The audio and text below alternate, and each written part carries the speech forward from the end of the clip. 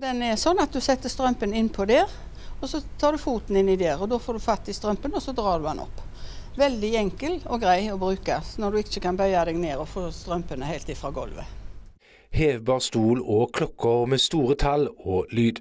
Jungelen av hjelpemidler for personer som ønsker å bli boende hjemme lenger, er stor og mangfoldig. Det er så mye sånne små, enkle ting som kan hjelpe deg i hverdagen. Alt ifra hvordan du skal åpne en, en hermetikkboks.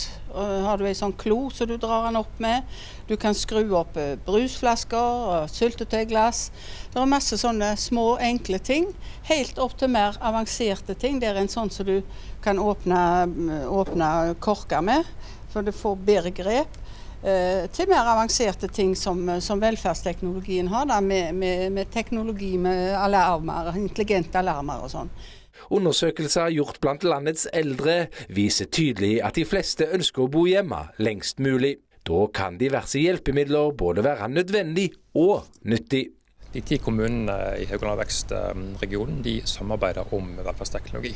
Vi har eh, jobbet sammen med om å kjøpe inn ny teknologi. Og nå har vi en ny avtale på trygghets- og mestringsteknologi som er i ferd med å rulles ut i disse dager. Vi har også uh, samarbeidet om medisineringsdispensere.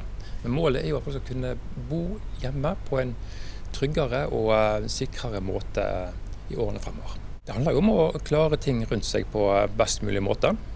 Jeg bruker jo påminnelser sjøl til å hjelpe meg til å fungere best mulig. Jeg ser at det er kjekt med eh, en robotstøvsuger sånn som, eh, som, gjør at jeg slipper å, eh, å støvsuge alt.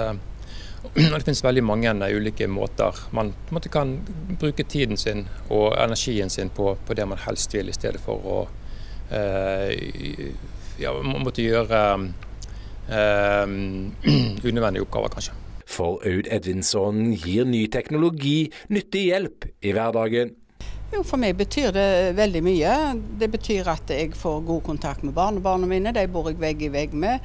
Det betyr mye at jeg klarer meg sjøl. Jeg kan bestemme når, hva, jeg, hva, tid og når jeg vil gjøre ting. Når jeg vil eh, komme meg ut av huset, og, og hva tid jeg kan eh, gå, gå på aktiviteter. og det, det, betyr veldig mye. Det betyr jo veldig mye for selvfølelsen òg, at du, du, kan bo hjemme.